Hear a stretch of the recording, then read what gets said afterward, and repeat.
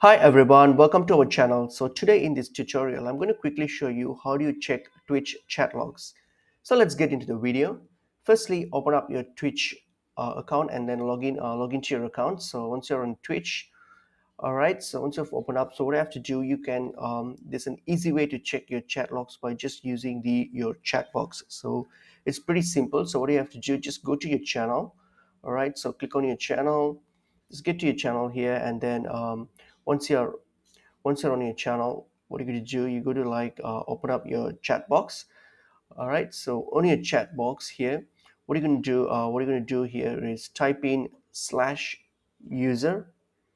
All right so hit on enter. And then next what you're going to do you're going to uh, uh, you're going to uh, type in the username of that uh, of the of the person that you want to check.